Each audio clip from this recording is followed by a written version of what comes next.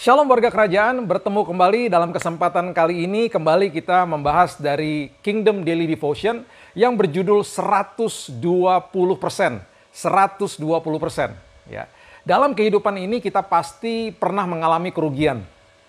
Bisa dalam hal keuangan, kesehatan, kehilangan orang yang kita kasihi, ya, kehilangan damai, sukacita, bahkan kita kehilangan arah kadang-kadang. Nah, kerugian yang kita alami ini bisa saja karena ulah kita sendiri atau memang faktor eksternal. Ya, banyak orang kehilangan uang karena ulahnya sendiri atau kehilangan uang karena faktor eksternal, ya, faktor ekonomi dan lain sebagainya, ya. Kita juga mungkin pernah dirawat di rumah sakit. Sampai-sampai kita kehilangan waktu sama sama keluarga kita, ya. Mungkin kita pernah kehilangan orang yang kita kasihi, bahkan ada orang yang meninggalkan kita meninggalkan hidup kita dan akhirnya kita sampai kepada titik di mana kita kecewa bahkan ada yang ada yang sampai kepahitan dalam hidupnya ya. Nah kerugian-kerugian ini yang dialami manusia ini selalu memang uh, kita bersinggungan dengan dengan uh, kegelapan yang ada di dalam dunia ini. Karena memang dunia ini sudah sangat gelap. Jadi ada kesulitan kesengsaraan hidup itu memang jadi bagian daripada manusia ya dari uh, jadi bagian daripada manusia. Nah tapi Tuhan memiliki janji yang luar biasa saya selalu katakan dan saya selalu suka dengan ribuan janji-janji Tuhan karena setiap kali ada kesulitan hidup, kutiplah janji Tuhan. Kutiplah janji Tuhan karena janji Tuhan adalah ya dan amin. Nah, berita baik adalah pada hari ini Tuhan selalu menyediakan penggantinya. Tuhan selalu siap memberikan kepada kita penggantinya. Apa pun yang kita miliki dari Kristus itu berasal dari kepenuhannya di dalam Bapaknya. Di dalam Bapaknya, dia penuh dengan kasih karunia. Ya, dia penuh dengan perkenanan, dia penuh dengan pemberian, dia penuh dengan supply, dia penuh dengan kebenaran-kebenaran yang siap diberikan kepada kita. Bahkan janjinya adalah ya dan amin. Ya, bahkan kita dikatakan kita adalah anak ahli waris dan orang-orang yang punya hak penuh atas semua janji-janji Tuhan. Dia adalah sumber kasih. Ya, dan dia sumber yang tidak ada batasnya, tidak ada batasnya. Dia adalah firman Tuhan yang menjadi manusia dan mengungkapkan Bapa kepada kita semuanya. Ya, dia adalah terang yang menerangi kegelapan bahkan mengusir kegelapan itu.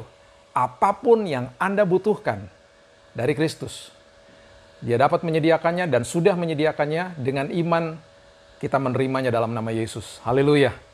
Kitab Imamat memuat beberapa jenis pengorbanan yang manusia harus lakukan pada saat itu.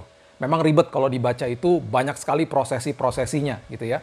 Nah, Tuhan juga sangat memperhatikan manusia-manusia pada saat itu yang dirugikan oleh orang lain, dirugikan oleh orang lain. Nah, khusus di Imamat pasalnya yang ke-6 ayat yang kelima ya. Dikatakan jika ada pihak yang dirugikan ya karena barangnya dirampas, karena karena dia diperas atau barangnya dihilangkan oleh orang lain ya.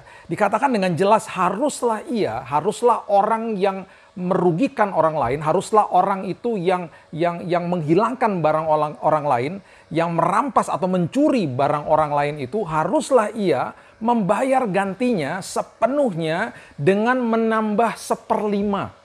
Jadi mengganti sepenuhnya ditambah lagi seperlima. Haruslah ia menyerahkan kepada pemiliknya pada hari ia mempersembahkan korban penebus salahnya. Nah, kata sepenuhnya dengan menambah seperlima dalam bahasa Inggris versi New Living Translation itu dijelaskan yang harus digantikan adalah sepenuhnya ditambah 20%. Berarti apa? Berarti totalnya 120%. Haleluya. 120%. Apa pun yang pernah dicuri, dirampas, oleh, oleh, oleh iblis di dalam hidup kita ini. Tuhan sudah menyediakan penggantinya berkali-kali lipat. Karena kita adalah anak. Apa pun yang terhilang dari hidup kita ini diperhitungkan sama Tuhan. Kita sudah pernah belajar berkali-kali dari pelajaran yang lalu bahwa kita ini melekat kepada sumber dan kita punya akses kepada Bapak kita. Kalau akses apa yang terlepas dari tangan tidak akan pernah terlepas dari hidup. Itu akses. Tapi kalau kepemilikan Ya, banyak orang yang suka memiliki, padahal di dalam prinsip kerajaan nggak ada sistem kepemilikan. Itu yang terlepas dari tangan, terlepas dari hidup. Jadi jangan pernah lupa prinsip itu. Akses, kalau kita punya akses kepada Bapak kita, apa yang terlepas dari tangan nggak akan pernah terlepas dari hidup. Supply jalan terus. Makanya kita melekat kepada sumber atas segala sumber ya. Dan Tuhan sudah menyediakan sekali lagi penggantinya berkali-kali lipat, bahkan sampai 120% Alkitab katakan. Jangan simpan kepahitan, lepaskan pengampunan, jaga hatimu. Percayalah bahwa Tuhan akan mengganti kerugianmu. Jika Anda kehilangan waktu dengan keluarga karena penyakit dan hal yang lainnya, Tuhan akan menggantikan waktu yang hilang tersebut damai, sukacita, pertolongan, penyertaan, dan kesehatan sudah disediakan dalam porsi yang lebih daripada cukup dan mengenyangkan kita semuanya ini. Itulah janji Tuhan di dalam uh, kasih karunia-Nya yang luar biasa. Ketika Yesus hadir dan menyediakan kasih karunia-Nya, kepenuhannya disediakan bagi siapa saja yang membutuhkannya.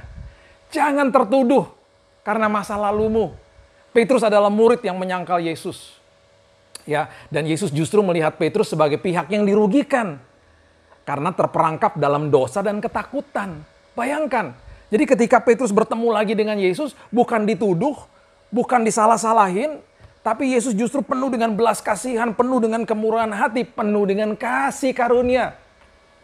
Dan ketika Yesus bangkit, Petrus justru diberikan tanggung jawab untuk menggembalakan domba-domba Yesus, yaitu jemaatnya, gerejanya gerejanya yang luar biasa.